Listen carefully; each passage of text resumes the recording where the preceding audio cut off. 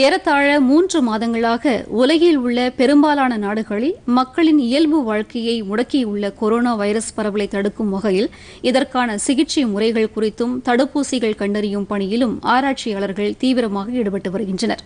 இந்நிலையில் தடுப்பூசி கண்டுபிடிப்பு குறித்த ஒரு பார்வை.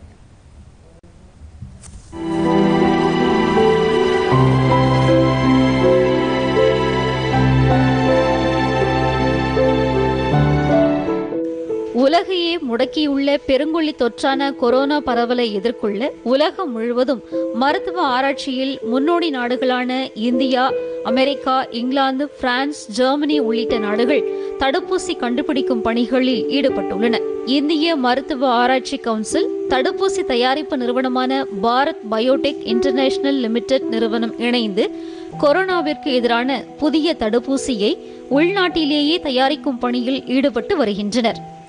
ஏற்கனவே புனேயில் உள்ள தேசிய வைராலஜி கழகத்தில் கொரோனாவின் பாகங்கள் குறித்த ஆராய்ச்சியை பயன்படுத்தி தற்போது புதிய தடுப்பூசி கண்டறியப்படும்.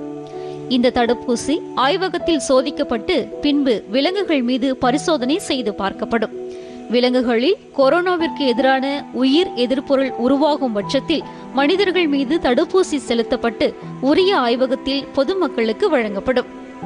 இதனிடையே சீனாவில் தயாரிக்கப்பட்டு வரும் கொரோனா தடுப்பூசி விலங்குகள் மீது வெற்றிகரமாக பரிசோதித்து பார்க்கப்பட்டதாக அங்கிருந்து வரும் செய்திகள் தெரிவிக்கின்றன. சீனாவின் இந்த புதிய தடுப்பூசி குரங்குகள் மீது பரிசோதிக்கப்பட்டதாகவும் அவற்றில் நல்ல முடிவுகள் வந்துள்ளதாகவும் கூறப்பட்டுள்ளது. இந்த விலங்குகளில் கொரோனாவிற்கு எதிரான உயிரி எதிர்ப்பொருள் உருவாகியுள்ளதாகவும் ஆராய்ச்சியாளர்கள் கூறியுள்ளனர். சீனாவில் உள்ள மருத்துவ ஆராய்ச்சி கழகத்தில் புதிய தடுப்பூசியை கண்டறியும் பணியில் ஆராய்ச்சியாளர்கள் தீவிரமாக ஈடுபட்டுள்ளனர். கொரோனா தொற்று தடுப்பூசியை கண்டறியும் பணியில் தானாக முன்வந்து பரிசோதனை செய்து கொள்ளும் நபர்களால் தடுப்பூசி கண்டறியும் பணி வேகம் எடுக்கும் என உலக சுகாதார அமைப்பு கூறியுள்ளது. இதனால் ஆபத்துக்கள் இருந்தபோதிலும் தடுப்பூசியை மனிதர்கள் மீது பரிசோதித்து பார்ப்பதால் தடுப்பூசிகள் கண்டறியும் பணி வேகம் எடுக்கும் என அந்த அமைப்பு தெரிவித்துள்ளது.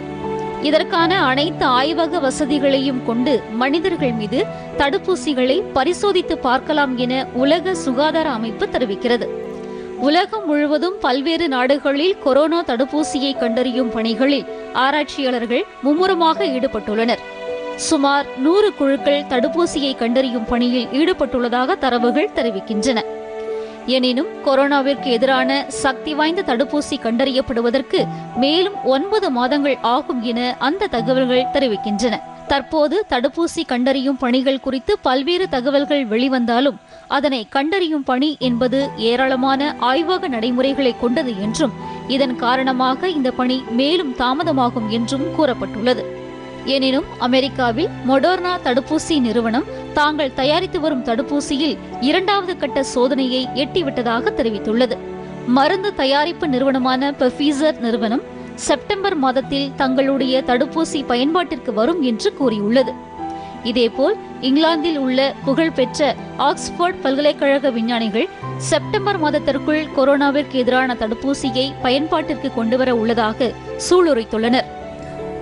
தடுப்பூசிகள் தயாரிக்கும் முயற்சிகள் ஆங்காங்கே நடைபெறும் போதிலும் கொரோனாவால் பாதிக்கப்பட்டவர்களுக்கு ஏற்கனவே குணமடைந்தவர்களின் இரத்தத்திலிருந்து பிளாஸ்மா செல்களை பிரித்தெடுத்து பாதிக்கப்பட்டோரின் உடலில் உயிரி எதிர்ப்பொருள் உருவாக்கி குணப்படுத்தும் ஆராய்ச்சிகளும் நடைபெற்று வருகிறது.